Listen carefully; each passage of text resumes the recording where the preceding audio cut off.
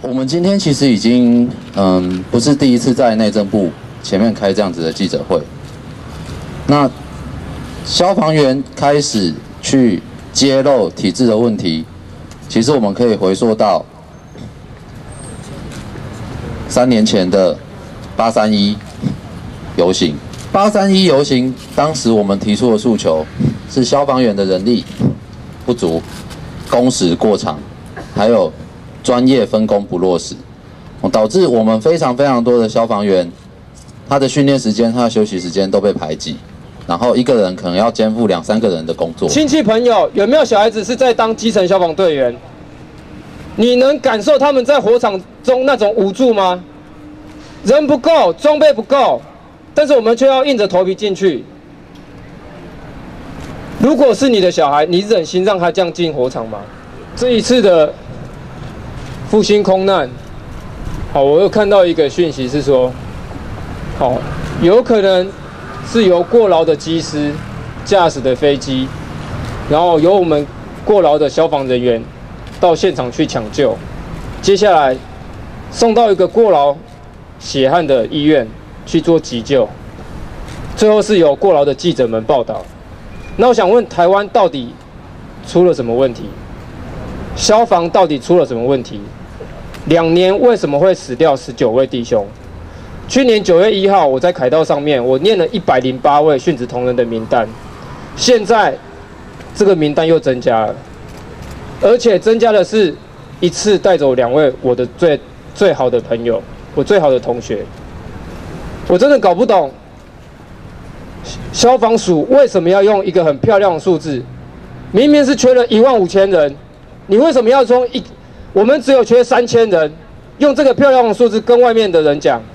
也欺骗我们的弟兄，这个不是中央真的无能为力的问题，因为其实如果说是九一的话，你也自己松口说你可以补到三千人，那我们就会想问说，那为什么你可以补到三千人，但是你不可以补到更多呢？好，然后第二个是说，我们认为消防署应该要建立一个灾难现场的抢救人力配置标准，也就是说，我现场的救火的时候，我到底需要多少人力？好，我是不是需要有安全官啊，去帮我去确保现场人到底什么时候进去，他的气瓶量多少？我是不是要有指指挥官，我进去一条水线，我要有多少人啊？或者是我要有多少搜救手等等？你要建立了这个配人力配置的标准，你才有办法去监督哈各县市的地方消防局到底有没有去落实救灾火场的安全的那些制度的完善。好，所以我们我们在人力的部分，针对消防署，我们是提出第一个，你要补足具，你要提出具体补足人力的计划；第二个，你要建立灾害现场抢救人力的标准。好，那刚刚那个理事长也有提到装备的问题。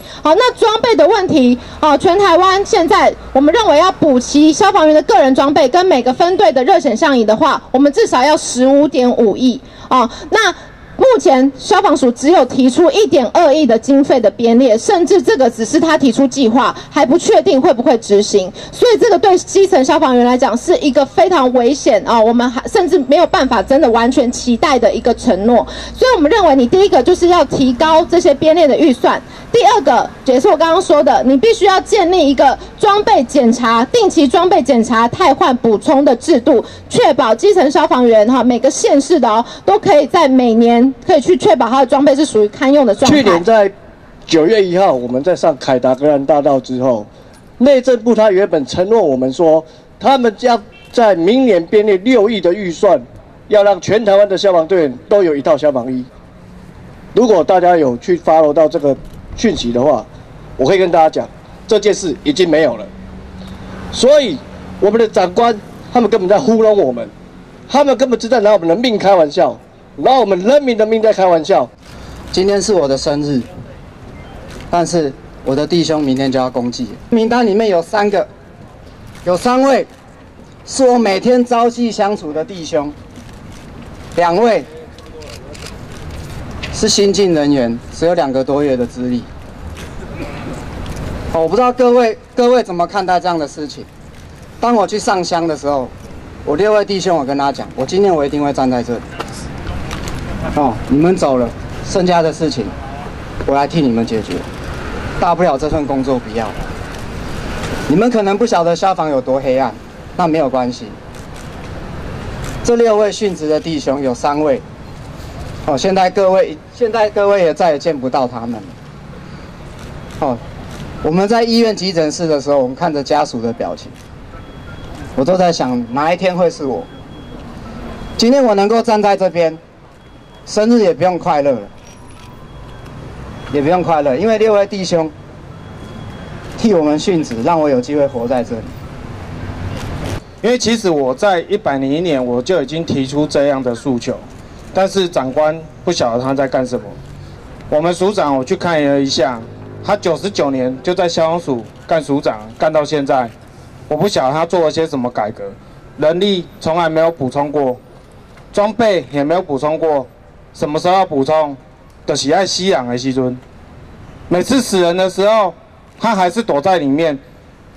外勤人员，各位媒体朋友，你们要知道，我们消防人员六十秒之内就要出勤，夜间的时候九十秒之内就要出勤，试问谁能做得到？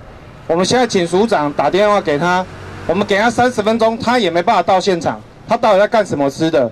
我我到现在我还搞不清楚消防署在到底在干什么。消防承办业务、消防人员的装备、人力、工时，还有消防后面的这些专职技师人。全部都出来抗议了，那你这个署可以废了吧？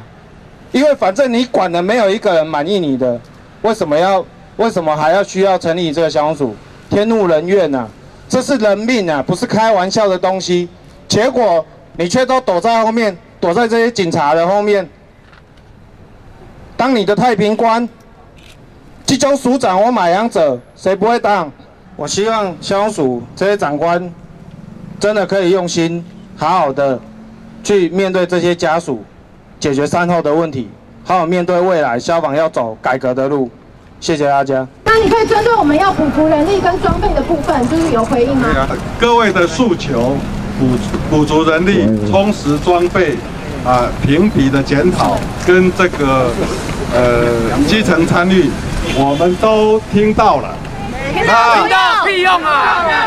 每次都是听到。我们愿意。